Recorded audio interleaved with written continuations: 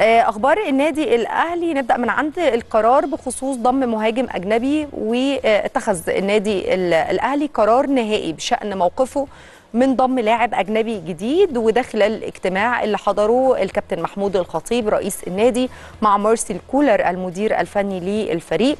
بحضور لجنة التخطيط وأعلن النادي الأهلي تأجيل البت في المكان الخامس للاعبين الأجانب لانتقالات يناير. يعني في بعض الأمور اللي محتاجين استضاحها في الأمور الفنية هيحقق مصلحة الفريق واحتياجاته وتمت مناقشة استعدادات الفريق للمرحلة اللي جاية والتجديد لبعض اللاعبين اللي هتنتهي عقودهم بنهاية الموسم المقبل خلال الاجتماع وتطرق كمان الاجتماع لأزمة ضيق الوقت عند انتهاء لاعبي الأهلي الدوليين من المشاركة مع منتخب مصر في مباراة موريتانيا اللي هتكون يوم 15 أكتوبر اللي جاي بإذن الله وصعوبة لحاقهم بوقت كافي بالفريق للمشاركة في السوبر المصري. المفروض أنها تقام بطولة السوبر المصري في دولة الإمارات خلال الفترة من 18 ل 21 أكتوبر اللي جاي بإذن الله. بعديها هيكون في آه انتظار الأهلي أولى مبارياته بدور المجموعات في بطولة دوري أبطال أفريقيا يوم آه 25 من نفس الشهر. وأكيد طبعا يعني جدول جدول بدأ بسرعة جدا ومضغوط من المباريات. آه نروح لأخبار علي معلول نجم النادي الأهلي اللي بيواصل أداء برنامجه التأهيلي للعلاج من الإصابة اللي تعرض ليها معلول طبعا واللي كانت عبارة عن قطع في وتر أكيلس من فترة.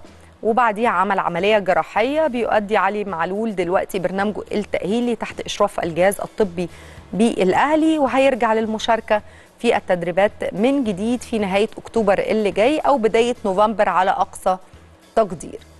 وطبعا عايزة يعني أفكر حضراتكم إن الأهلي ما أيدش علي معلول في القائمه الأفريقية لحين تعافيه بسبب إن إصابته هتحتاج لوقت للعودة من جديد والتأقلم حتى الجاهزية للمشاركة في المباريات. خبر تاني خاص باشرف داري مدافع النادي الأهلي المشاركة في التدريبات الجماعية للفريق طبعا بدأ بالفعل بعد تعافيه من إصابة الجزع في كاحل القدم اللي تعرض ليها مع منتخب المغرب مؤخرا. وأكد طبيب الأهلي أن أشرف داري انتظم بشكل تدريجي في التدريبات الجماعية وهيشارك بشكل طبيعي بدءا من النهاردة وده بعد انتهاء البرنامج التأهيلي اللي مؤخرا. كمان بيدرس مارسيل كولر المدير الفني للنادي الأهلي إجراء عدة تغييرات في تشكيل الفريق أمام جورماهيا الكيني في مباراته المقبلة اللي المفروض هتكون يوم السبت زي ما قلت لحضراتكم على استاد القاهرة الدولي في مباراة الإياب دور ال 32 بطولة دوري أبطال أفريقيا. الاتجاه الأكبر عند كولر هو إراحة وسام أبو علي. أو إشراكه في شوط وحيد.